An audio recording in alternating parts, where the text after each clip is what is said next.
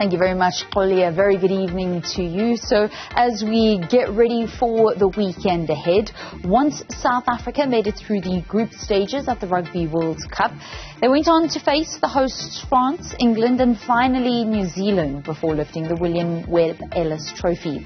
They faced every one of the top six in the world at the time en route to winning a back to back crown. The story was spectacular, but as the docu-series Chasing the Sun 2 has shown, there's even more that we didn't see. There are two more episodes remaining for South African viewers. I chatted to one of the stars of the team and therefore the show, double World Cup winner Eben Etzebeth and super Supersport's Sbu Mjikeliso about it. For us as players, players to watch it again uh, all over it, I think it's the same. It probably means the same to us and the fans. So we experience emotions and games that we forgot about because obviously it's a it's a seven eight week tournament and it goes by so quickly because the pressure is so much you you barely have time to take anything in and now to look back at it and, and just see the journey, see what we what we did and, and achieved. It's uh, yeah, it's incredible to watch again. And um, it's the only pity is that we have to wait a week every time for the next episode. Uh, so it's it's a long wait, uh, but no, it's uh, it's greatly reliving those moments again. And this time um, as a fan and, and yeah, on the couch at home and watching on the TV with a cup of coffee on a Sunday night. So no, it's nice to to see everything again and, and to relive it you get to learn a couple of new things about your teammates uh, and hear things in a different way that you perhaps didn't really um, anticipate, like through watching Chasing the Sun, because certainly what it feels like for many of the fans is this unbelievable understanding and this greater understanding of you guys as players and of management that we never got to see before. Yeah, I think we, we also learned like things of our teammates. I think uh, look, we all we all know we we're a special group that got together. We uh, we always say it's, it's a it's a group that shouldn't have have made it. If you look at each guy's individual story, um, or the individual shouldn't have have been a part of a World Cup squad because their stories don't allow it because it's guys who come from um, less favorite backgrounds. It's guys that come from small schools. Um, I mean, if you look at a guy like Kurt-Lee, um, I mean, his story gave me gave me goosebumps. Uh, obviously, uh, you've got your your friends in the team, and you you don't always chat to everyone.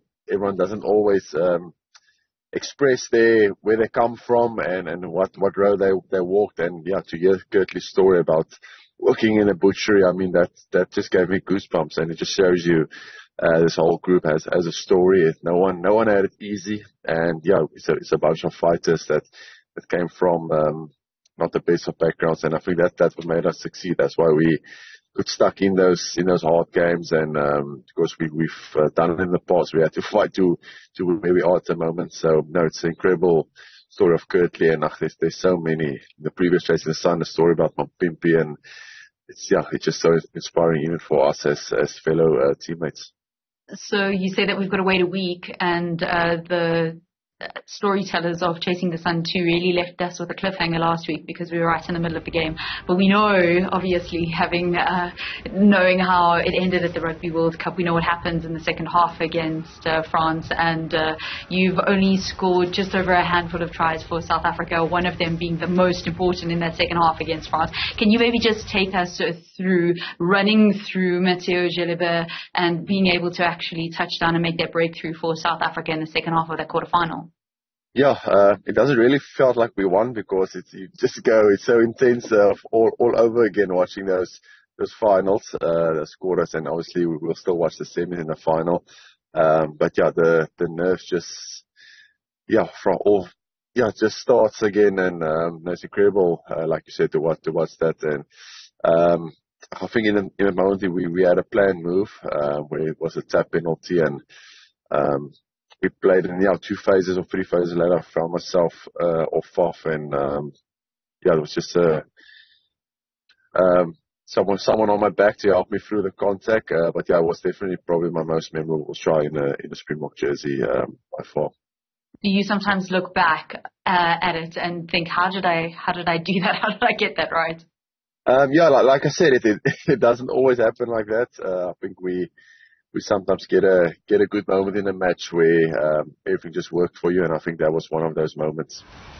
I think, Valen, when you produce something like Chasing the Sun, the first one, the first time around, and you've got unprecedented access, um, something that we didn't see quite often, even globally as a trend, to get that much access behind the scenes in a high performance environment in one of the biggest sports and the biggest tournaments in the world. You know, the, the, the, the responsibility to produce something that will touch people is huge on, on, on the teams involved. Um, and it became a huge su- success the first time around. The second time around, now you have to go even even better because the Springboks did their bit, didn't they? They defended um, their, their Rugby World Cup title. So as Supersport and the, the, the partner producers in, in uh, TNW and SA Rugby, there there was a, a, huge responsibility for everyone to then, you know, uh, really really come up uh, to the party creatively um, in terms of process and and storytelling. And I think everyone did that in terms of resources. You know, without ha- revealing too much, there, there, there, there was definitely a lot of commitment to making sure that this production you know, got what what what South Africans fully deserved, which was what we're seeing now a an action-packed, no holds barred view at what it takes to make the Springboks the world champions. This one, uh, Chasing the Sun 2, the subtitle is a story for South Africa. Can you just unpack that a little bit for us? We realized what the World Cup did, not just in 2019, go further back than that, 2007, 1995, uh, 2023 is that the the the World Cup victory brought South Africans together. Didn't bring rugby fans together or sports fans together. It brought all of South Africa together. We saw it. We see it time and time again when our sports teams and and individuals go out there and perform for the badge, for the country, for the flag. All of us are rooting for our sports people to win, whether it's Banyana, whether it's Bafana, whether it's Dricus, du Plessis, whether it's the Springboks. We come together, and that's what makes us South Africans so unique.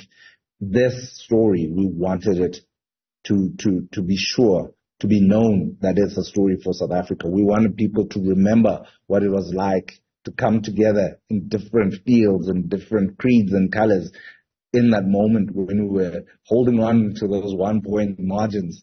Um, and, and we wanted the story to speak to that, that yes, it's a story about a rugby team that achieved unbelievable feats, but it's a story for all South Africans. And we, we wanted to bring that spirit back and, and that, that unity back.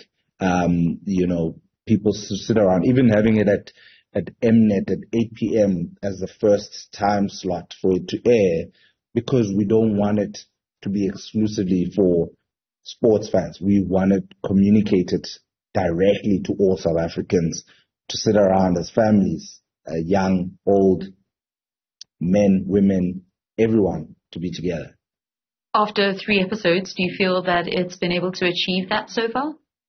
Yeah, I, I think it's it, it's done a great job in you know in getting conversations to be spread far and wide. I mean, the, the, the unbelievable engagement that it's received